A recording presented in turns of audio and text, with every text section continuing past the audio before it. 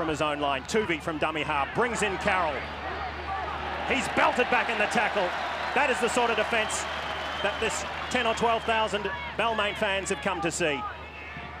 Stepping off one, goes to the air, Craig Field, his first touch in a Manly jersey.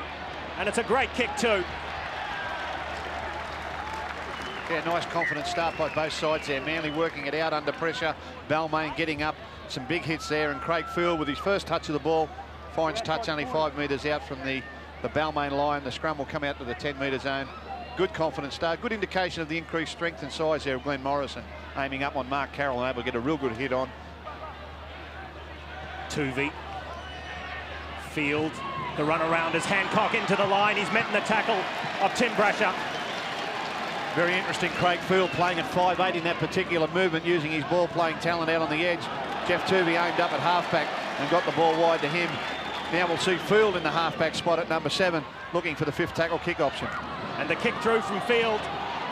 Menzies was brought down in back play, was he? No.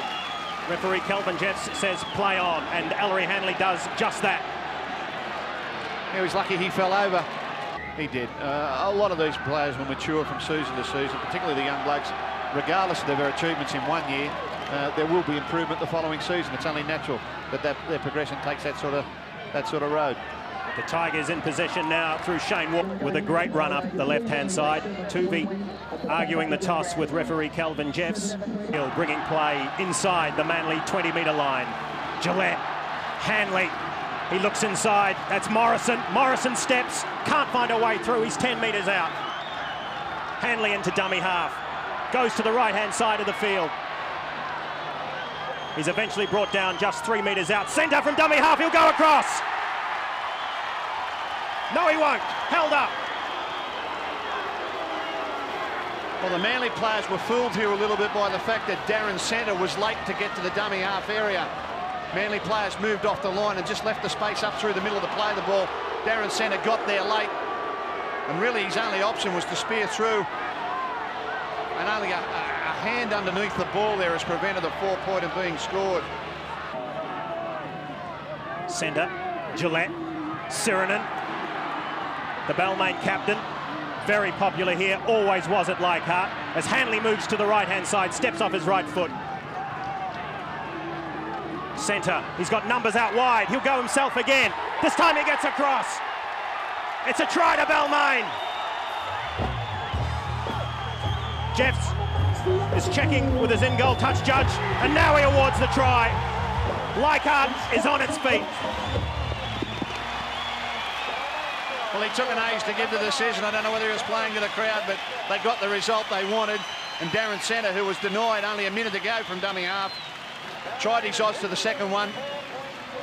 Over the top and slams the ball down over the top of Craig Field. Good work by Darren Senter, denied only a minute earlier. But over the top of Hancock and Craig Field, able to slam the ball down from a great height. The in-goal touch judge, he was happy with it. Jeffes had to check with him. Well, I tell you, they lost six or seven metres there, Manly. Field to the right foot. Has it gone too far? No, it's a great kick. In fact, Manly should get the scrum feed here because that is part of the new rule. Craig Field kicked that from within inside his own 40-metre line, as you can see there. And it goes into touch inside the Balmain 20. So we'll have the Manly loose head and feed. Well, you can see now there's some discussion over that point. Kelvin Jeffes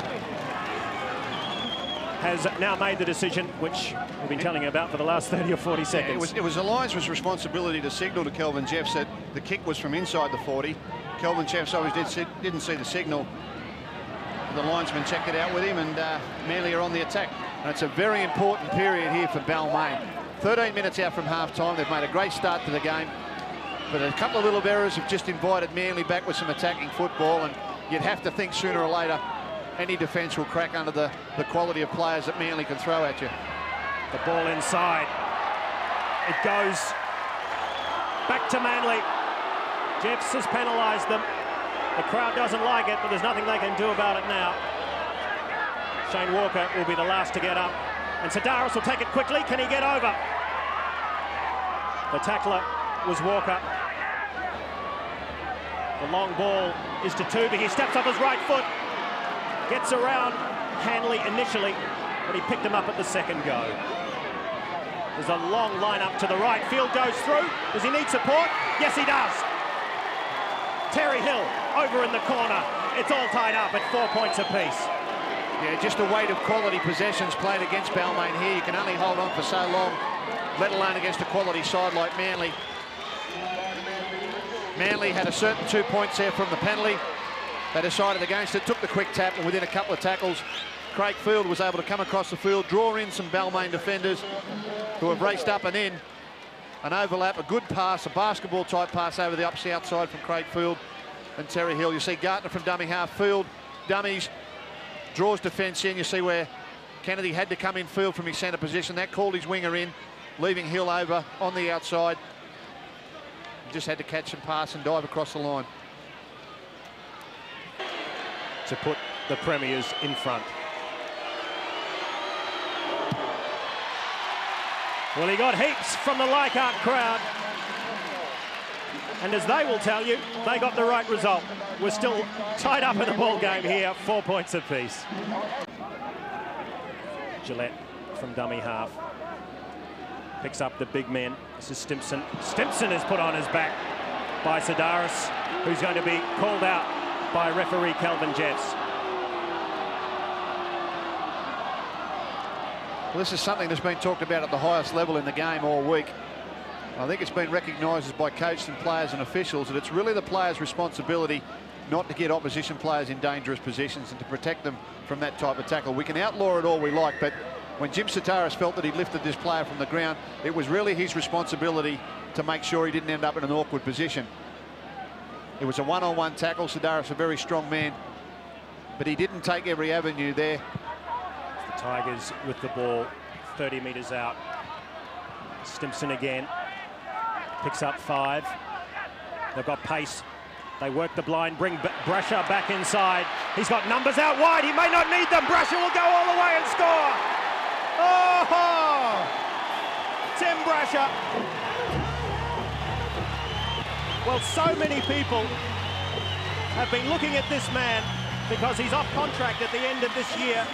And you'd have to say, Phil Gould, that one of the clubs which is interested in him is the team they're playing tonight.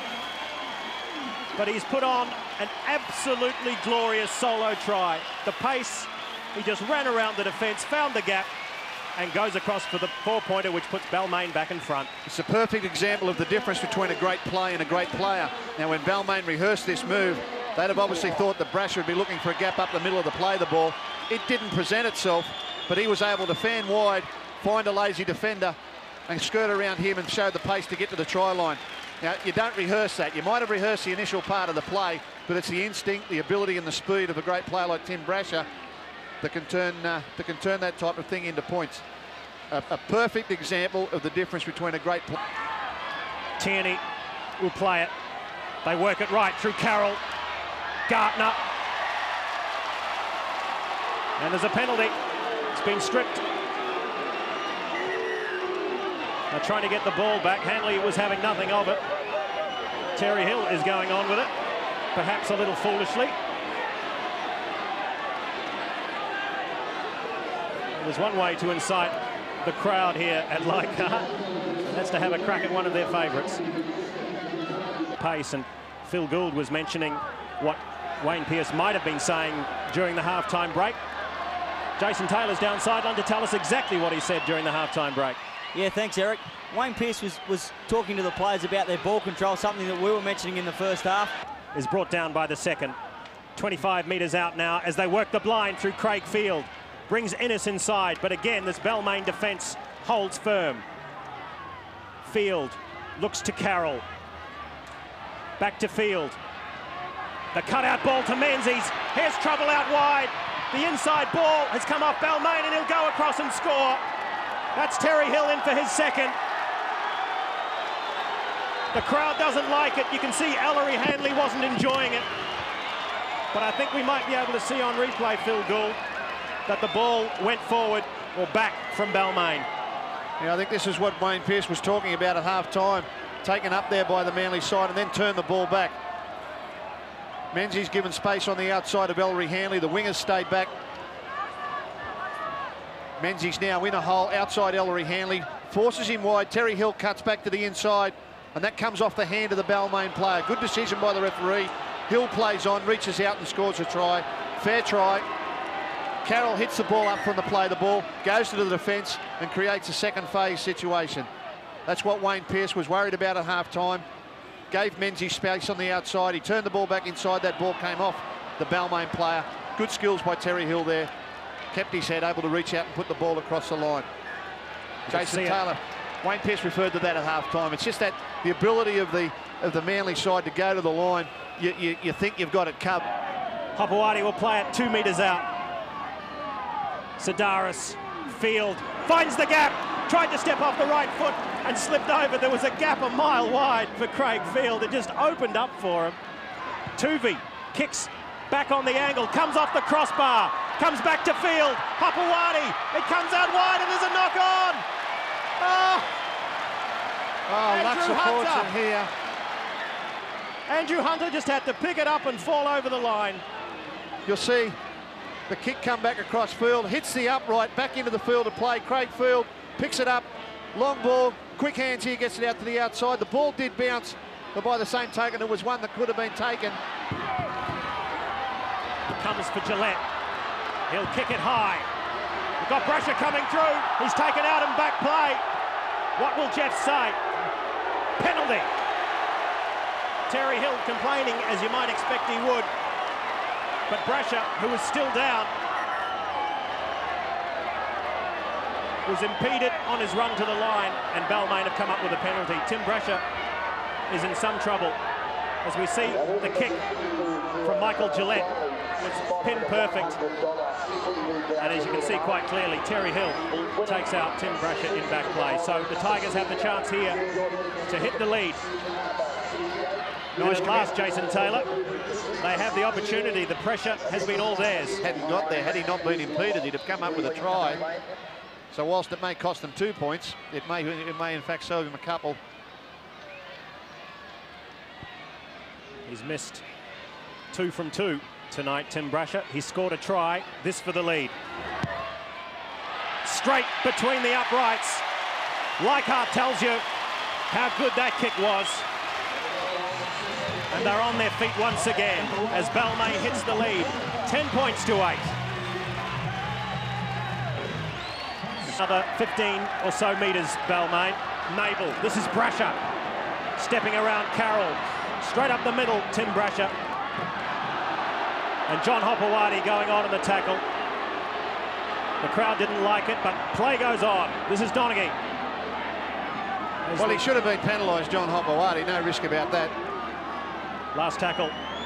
They'll go high through Michael Gillett. In fact, they've gone long. Craig Hancock is back there. Yeah, nice chase. Well done. Bustling Balmain defence. Cliffy Lyons not playing tonight. In fact, might not be back for a couple of weeks. They've missed him. As Toovey picks up five or so metres. Working in combination again. Field Hancock on the run, picks up Menzies. Taken high. Darren Senter. It will be. He'll be spoken to by referee Kelvin Jeffes. There, a set play. Menzies up the middle of the play, the ball. Probably a victim of circumstances a little bit there, Darren Senter, because there was a player in low.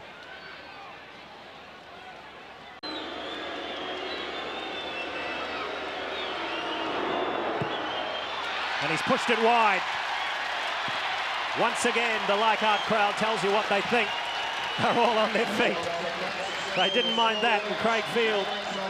The crowd is certainly letting them know they can win it as Manly hit the last tackle inside their own 30.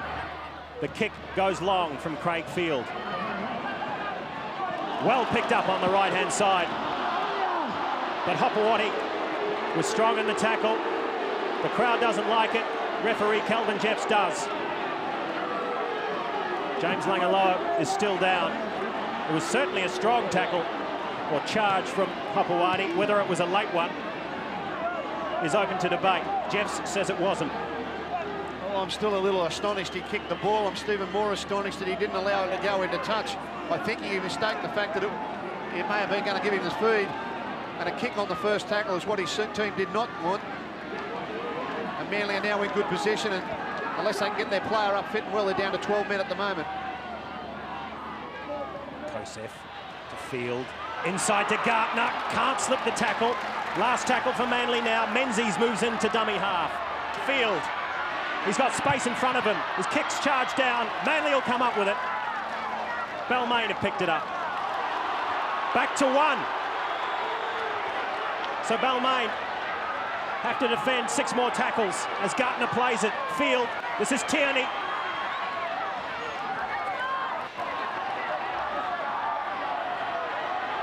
Desperate defence for Balmain. Can he get the ball down? Try to Manly. Jim Serdaris has gone across from dummy half. He's so dangerous in that area. And the Leichhardt crowd can't believe it. The Balmain defence getting in each other's way there. Hanley underneath. Well, I think that really goes back by the indiscretion from the winger and kicking on tackle one and allowing Manly into this position. Jim Serdaris taking the opportunity close to the line. He did get it down. That is a fair try.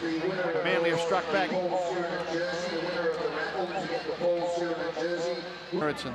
And let it look after itself. Geoff Toovey not happy. Gillett looks to his outsides, shapes to kick, comes back inside, steps through two tackles, looks for support, can't find it. Eight metres out, and Gillett stuck inside to play the ball. The kick through from Star.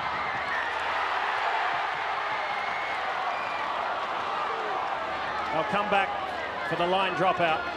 Oh, uh, so close for Balmain and for Manly. Hancock got a well cross well there. Covered that one, got it down on the ground. A line drop out will give Balmain possession again. I've got to say that Mick Gillett's had a great game for a young player in the Balmain side tonight. He's playing against a very experienced and, and very frustrating outfit in Manly because they don't offer. Handling. Serdaris met the tackle. Walker. I don't think there are any questions Walker. about Ellery Hanley. The kick ahead from Star. Now it's a foot race. Kennedy is through. Balmain have come up with it. They play it quickly. They could score. Penalty, he should get 10. He's given him 10 minutes. Kelvin Jeffes was left with no opportunity. Danny Moore deliberately slowing down the play of the ball. It was a professional foul. A penalty to Balmain. And 10 minutes in the bin for Danny Moore. Levy, as always, involved. Hanley. They have to keep the ball. They have to get it down close to the Manly line. Langaloa tries to keep away from the touchline. Gillett. Sironen goes out wide. This is Kennedy. Kennedy looks for support. Finds it now. Gary Edwards through. Brasher. Oh! They can't take a trick. I tell you what, they might go home without the two points, but they'll send a lot of people home happy. That is an outstanding game of football. Eight seconds now on the clock.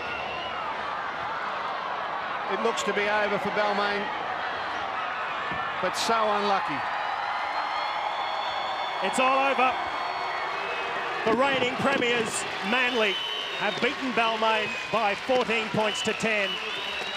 But it was oh so close. They played out the last six and a half minutes with 12 men. Danny Moore sin bin. And you can see the look of relief on the face of Geoff Toovey, the captain.